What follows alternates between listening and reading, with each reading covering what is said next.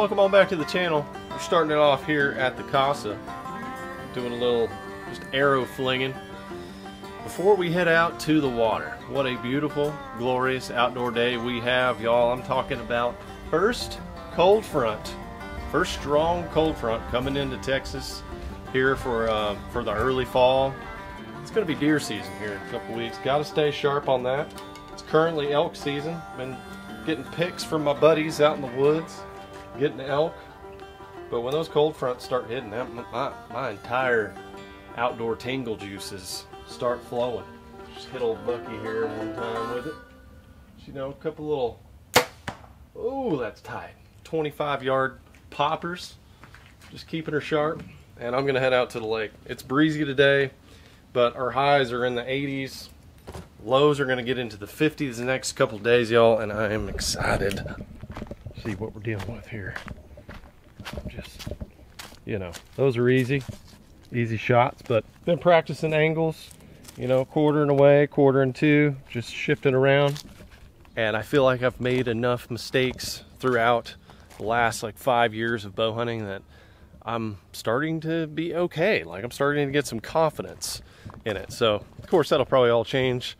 First little four point I see walking out when I'm sitting in a tree, I'm, I'm probably gonna freak out, get the shakes.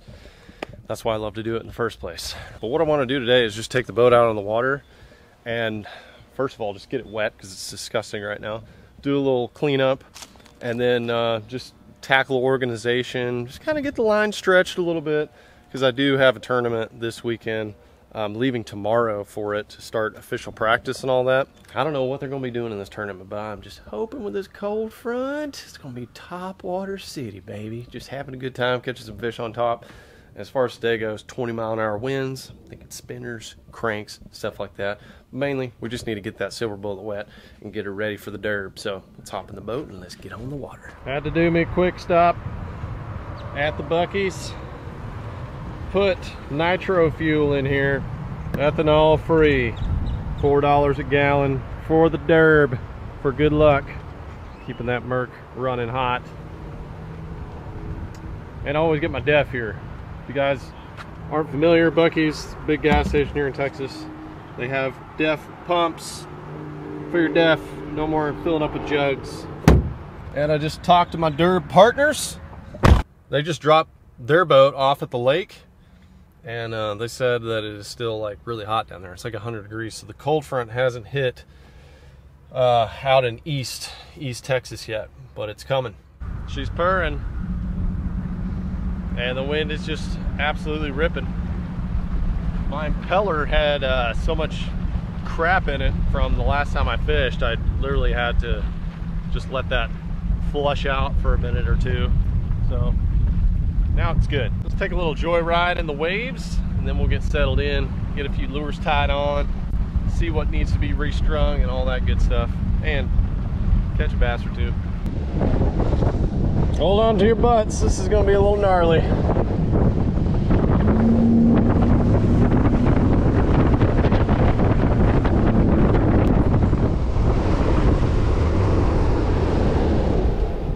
That actually wasn't even that bad because the wind has completely shifted from when I left the house.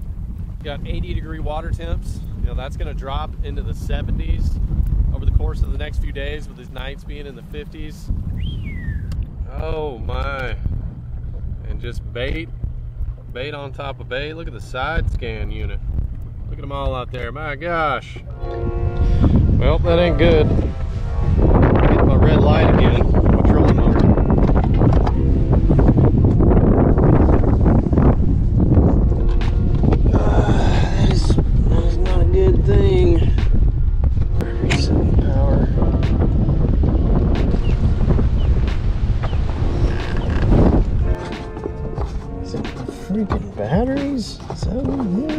I had no idea this thing even took batteries.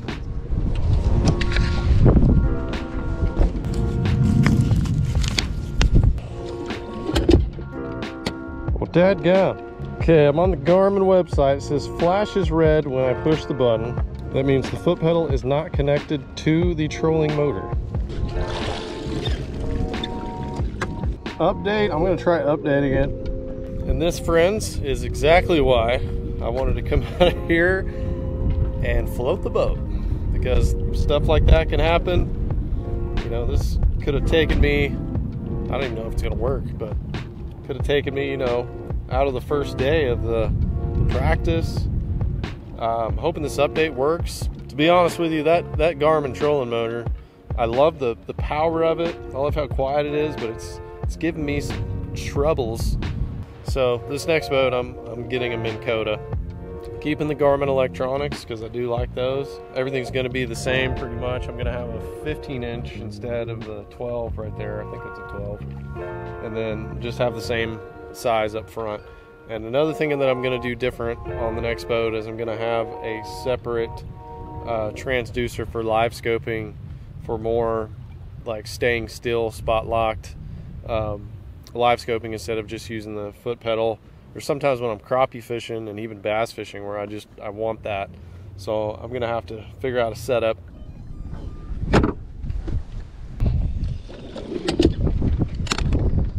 Shut everything off. Updated. So we're back in the game. There's a lot of shad, a lot of shad moving. Can I get an amen? A lot of shad in this shallow water. You can see a couple birds.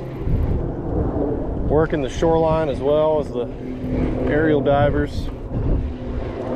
And there's some brush. Some of these little areas that ought to hold a bass.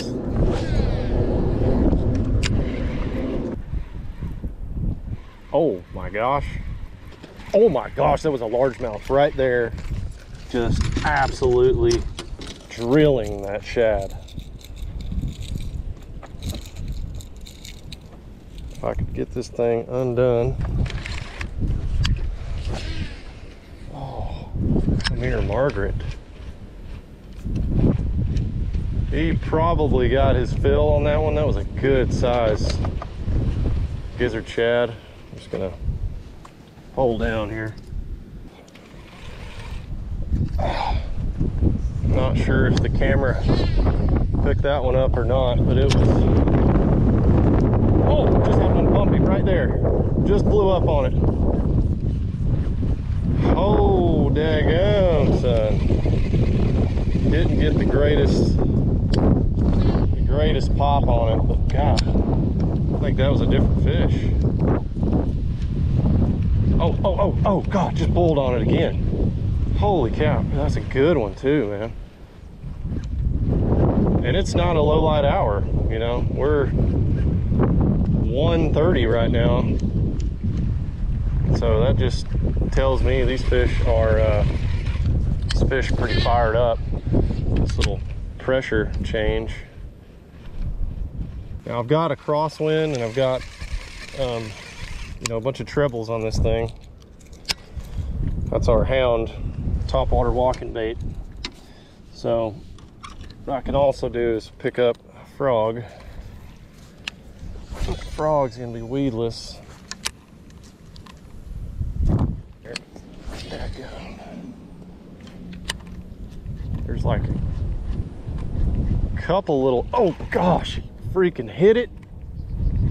God, he blew up on it. Y'all, they're just, they're shy on it. They're just shy on it. Three blow-ups. Take this dart, six inch. Got a little tungsten putty on there.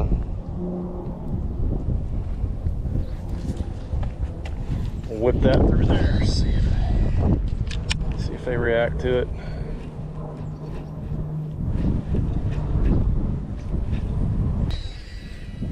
Weightless minnow style bait will get it done though.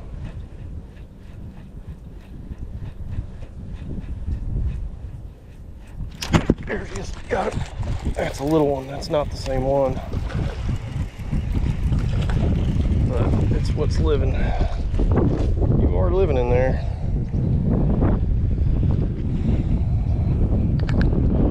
Just twitching that thing through there.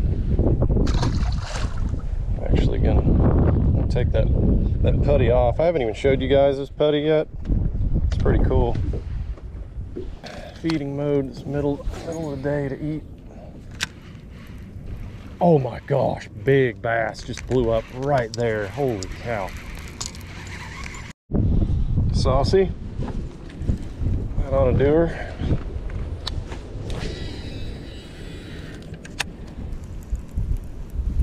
Oh gosh, she's got hammered. Hammered right there. Short striking it.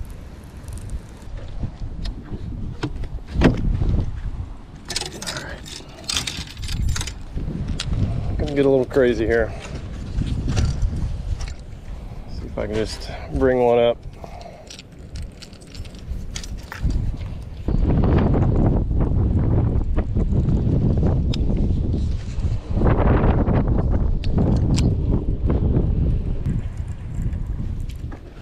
Look at this gar.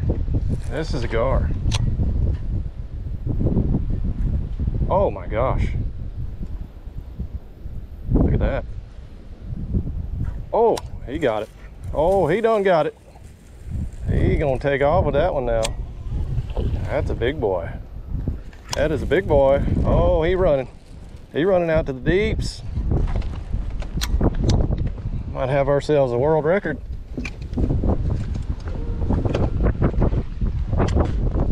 Or I might have just lost me a contender. Chase him out here. Gar is about five feet long. Oh, he still got it. Oh, he still got it. He's very large. He ought to be letting it go about right now, but he's he's just hanging on. Really wants it. Oh my gosh, we got a shark. We have got a shark. Might need to let this go because I, I don't really know how I'm supposed to land you, do anything with you. Really, I just thought it'd be fun to watch you eat it.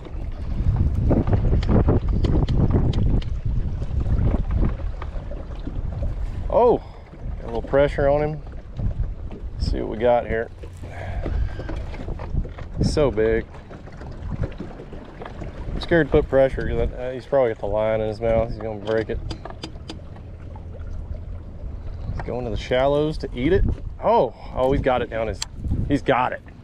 Like it's it's actually down there. Oh my gosh, look at him. He's like a dolphin. We done got a cigar, man. Oh my. Oh, he's so big. He's just side hooked.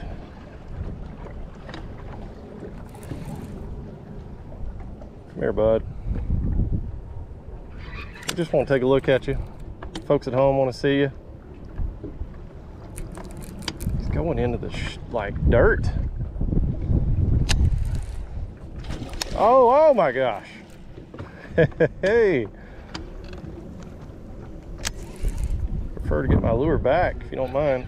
Oh, there you go. I think the line is in his mouth, and it is. Yeah, look at that. Oh, dear goodness. Line's in his mouth, the swim bait's on the other side. Got a decent sized net on board.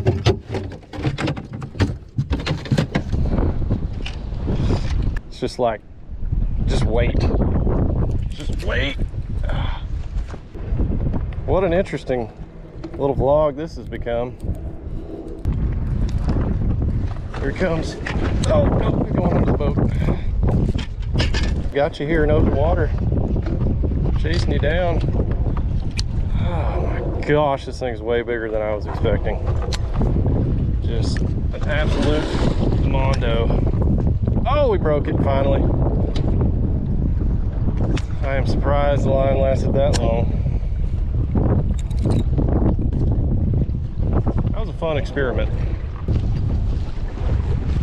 Oh my, well it's just a, it's a popping Mc, McSchool over here. Trolled into the next pocket and then uh, white bass are having their way. with some little shad critters. Oh my. Chasing me, go, we got on. All up in here, that ought to get the bass going as well. Shoo! Shad fest. Oh no, about hooked me.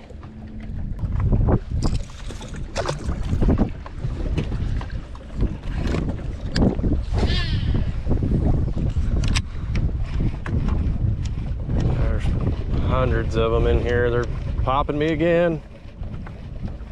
Popping me. Oh, man. You're so fun. Look at look at the look at the tenacity. Love to see it. The midday tenacity. Really hate to see what these things are going to do when it starts really cooling off. Look at that. Wabam. Wabam. Oh, he got it. Chasing some little shad here. Ooh. All right, third species of the day. But there's brushy tops back in here, and you know what we just saw around the corner was bass blowing up in the brushy tops. So I got a feeling if we get this over the right bit of brush, it's gonna be a goner. I'm just gonna go ahead and do it. Get that frog on them.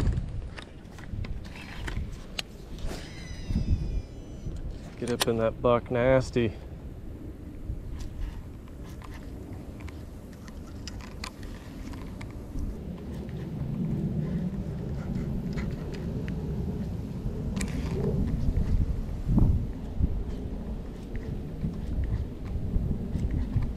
Oh, golly. Just had a largemouth sucking under right there. I watch him. Not even a splash. It's like he just got the tail.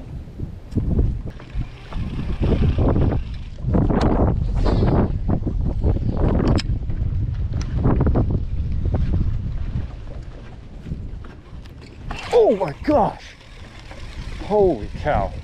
That bass just caught me off guard. I was about to reel in my bait.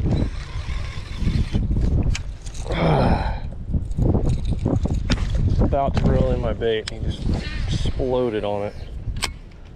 They're definitely preferring the toppies. My gosh, it's just four, four I've missed on top though. So much brush in here, there has to be a bass.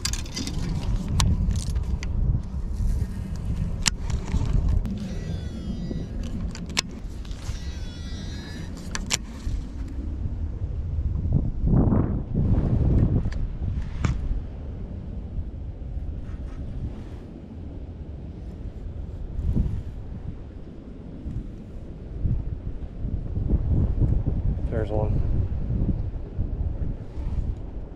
Picked it up. Oh.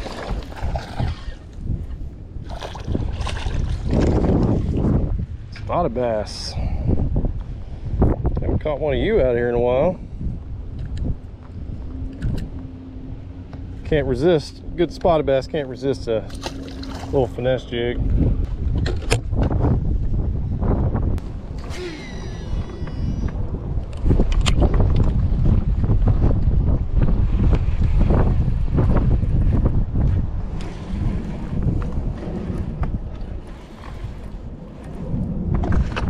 There's one.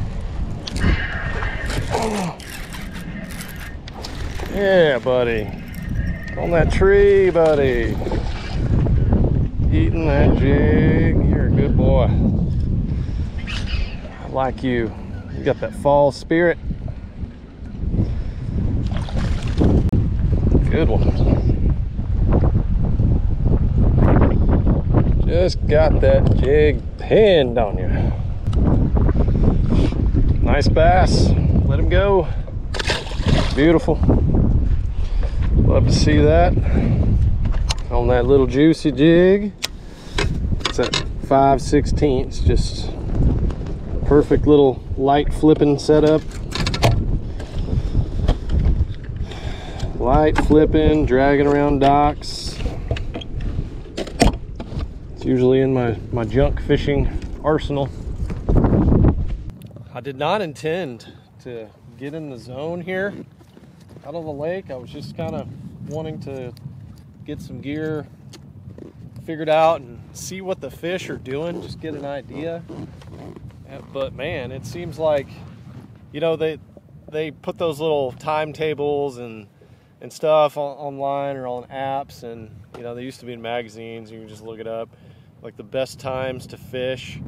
And right now we're, we're coming off this full moon. I, I don't know if that has anything to do with it uh, but usually the fishing's more tough during the full moon. Um, they'll feed it that, night and they'll feed in on, on those shad early and, and late and kind of be lazy during the day but uh, we're coming off that full moon and the pressure is is just uh, is changing a lot. So uh, I can just tell I fished this lake so much and it just seems like these fish are are biting. Like I need to be in a good spot where there's some big ones um, just getting midday topwater bites you know one two three o'clock in the afternoon. Uh, it's it's pretty exciting. Excited for the fall topwater. Gee, baby.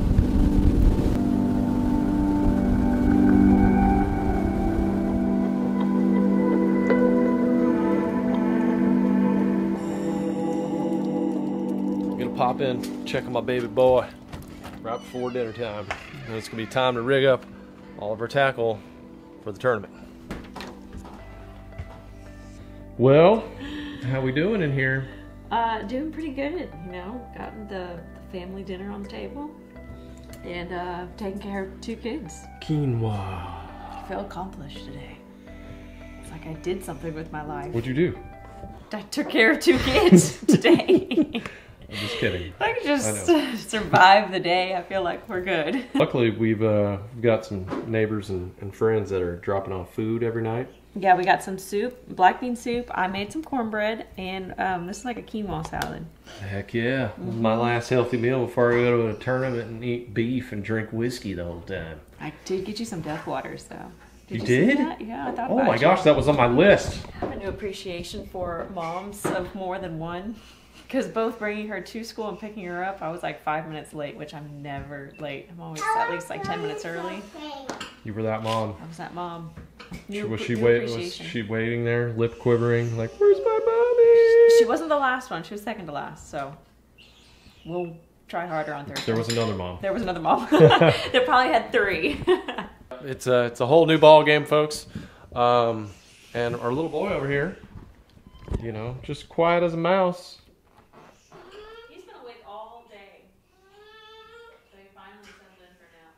Well, maybe he'll sleep tonight. Doing good, buddy? Your little camo blanket? You gonna climb? What'd you learn at school today? Um, letter B. You learned the letter B? Banana. Banana and beans and bears. And baby Ben. And baby Ben. Right, Daddy. That's right. Yeah. Get for that. Do I get a treat for that? Cool. I get one for that. Mm -hmm. I get a treat for that too. Oh. Mm -hmm. We have both getting treats. Save one for me. You and me get treats. I know. You love sugar just like your daddy. It's a problem. I have, because I guess Yak said get and my favorite colors. And your favorite colors? What's your favorite color today? Pink. Pink. It's mm -hmm. pink today. Gotcha. Nice work here. Painting the castle. Oh yeah. Looking good. She worked hard on that. And your paint there, and your paint there, and your paint here. I love you, Daddy. Oh, I love you too. We got some sorting to do.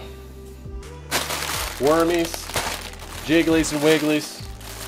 See what all we need to take. But judging on what I experienced today, top water, man. We're gonna bring some frogs, uh, big shad, stuff. Gonna be probably a good uh, shad explosions happening. I'm gonna sign off right here, guys. Thanks as always for hanging with me on today's vlog. And uh, next thing we got is the dirt. So I'm off to the rodeo. Thank you guys for tuning in. May God bless you and Godspeed in the great outdoors. See ya.